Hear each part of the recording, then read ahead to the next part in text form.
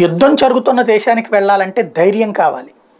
అలాంటి ధైర్యం ఇజ్రాయెల్ ప్రధానమంత్రి నెతన్యాహుకి చాలా బాగానే ఉంది. అందుకనినే ఓ పక్కన హమాస్ తీవ్రవాదులు కాల్పుల విరమణ ప్రకటించిన సందర్భంలో అక్కడ ఇజ్రాయెల్ సైన్యం మీద మళ్ళీ ఈ హమాస్ తీవ్రవాదులు పాలస్తీనియన్ పౌరుల చేత దాడి చేయిస్తారని తెలుసు. అయినా దానికి తగ్గట్టుగా ప్రిపేర్డ్గా చేసుకొచ్చారు. ఈ నాలుగు రోజుల్లో రెండు రోజులు గడిచిపోయినాయి. ఇప్పటికో డెబ్బై ఎనిమిది మంది దాకా విడిచిపెట్టబడ్డారు. ఇదే సందర్భంలో కీలకమైనటువంటిది నెతన్యాహు తన శ్రేణులకి తన సైన్యానికి భరోసానిచ్చేందుకు ఆ గాజాకే వెళ్ళారు. లేటెస్ట్ గాజా స్ట్రిప్పై పట్టు బిగించేందుకు ఇజ్రాయెల్ ప్రయత్నిస్తోందన్న వాదనకు బలం చేకూరుస్తూ ఇజ్రాయెల్ ప్రధాని బెంజమిన్ నెతన్యాహు ఆదివారం అక్కడ అడుగుపెట్టారు. యుద్ధంలో మునిగి తేలుతున్న తమ సైనికులను నైతిక స్థైర్యం పెంచేందుకు వచ్చానని చెప్పారు. ఇజ్రాయెల్ బయటపెట్టిన హమాస్ సొరంగం వద్ద తమ కమాండర్లు సైనికులతో మాట్లాడారు. మనం మూడే లక్ష్యాలు హమాస్ అంతం బందీలందరినీ క్షేమంగా విడిపించడం. భవిష్యత్తులో మరి అన్నడు ఇజ్రాయెల్కి ముప్పుగా మారకుండా గాజాని సరిచేయడం. అని తేల్చి చెప్పారు. ఇజ్రాయెల్ రక్షణ మంత్రి చీఫ్ ఆఫ్ స్టాఫ్ని కూడా వెంట పెట్టుకుని మరీ తిరిగారు.